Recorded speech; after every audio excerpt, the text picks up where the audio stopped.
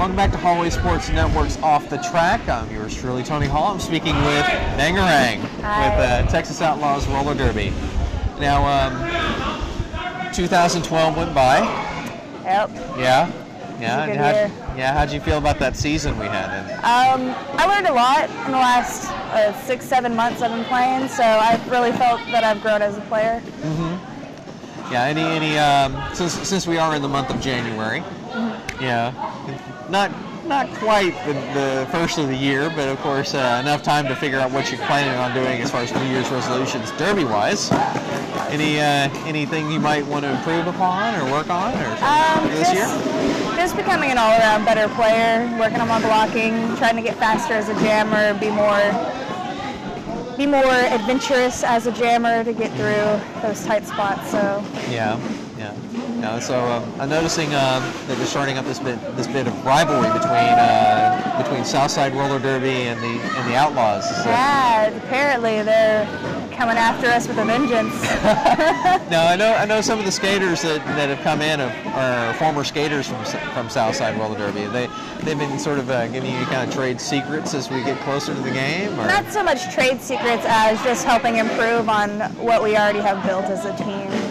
Uh, they're just they're a really good resource for new strategies and ideas. Yeah. So no, Southside has actually been around for a while, so they they've actually there's sort of like a, they know what they're doing. an adolescent team, if not a mature team, like the like like in Austin, but but uh, but pretty much in the adolescent stage. yeah. Yeah. So you know, any they, they gave you some give you some help as far as uh, what to do as far as a new league Skating. coming in. Well, it's more like skating techniques, ways to better your blocking and jamming. Uh, mostly elementary stuff because I'm still a rookie, so it's Yeah. really any anything, any advice they can give me, it always helps. Okay. Okay. I guess that goes in, in uh, without saying as far as resolutions. You know, just improving upon your skating. Yeah. Yeah. Going back a bit. Now, uh, what was the what would you say would be the first moment that um, that you looked at this what you know derby and said this is what I want to do? Um, Uh, actually, um, like six years ago, I knew I wanted to play roller derby. It was just not in the local area where I could get to it. It was up in Houston. I live in Santa Fe. Yeah. So that's quite a distance to travel. True, true. I had to work full time, go to college. So it, things got in the way. But as soon as it came to Alvin, I, I jumped on it. Yeah. Yeah. Something you always wanted to do and Yeah. oh, what a hit! yeah. If, you, if we didn't see that on, on camera, but yeah, did we? Oh, okay. Yeah, I looked up. I didn't see the camera, but I think we got it. I hope so. All right. That was good. okay, but um, now getting back to getting back to this, of course, um, I asked asked you why. What is it that um, you would be doing otherwise if you weren't doing derby?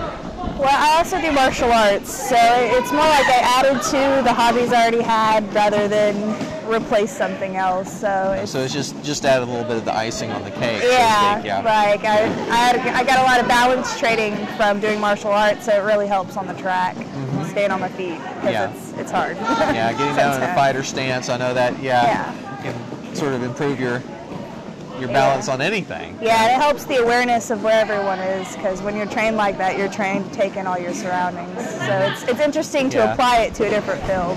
Yeah, yeah. I know. I know that um, I've I've actually spoken with some of the Derby girls about that. Who have some who have had martial arts training and some who haven't. And uh, and and of course, uh, the ones who haven't, they get especially when they're new, they get into that zone where.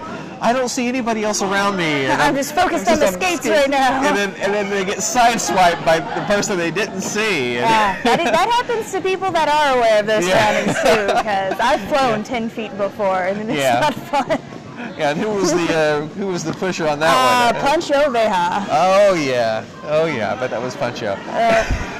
She'll do it every time. Yeah, yeah. I know you'll have a few skaters in the Outlaws that are kind of like, you know, female wrecking crews. You know. Oh yeah. Yeah. One person wrecking ball. Yeah. Of course, if you get Puncho and her sister and, and Yeah. they work the together, tag Dynamic team. duo. Yeah.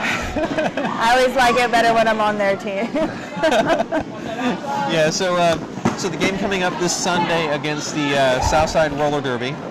Now, um, all uh, excited about it coming up, or Yeah, I'm, I'm a little nervous this time because these girls have a lot more experience than I do, and you know, our last game was extremely rough, and Yeah. I'm, I'm really thinking it's going to be that times two. So Yeah. I'm, I'm looking forward to having new bruises, I guess, yeah, because I know they're going to be there.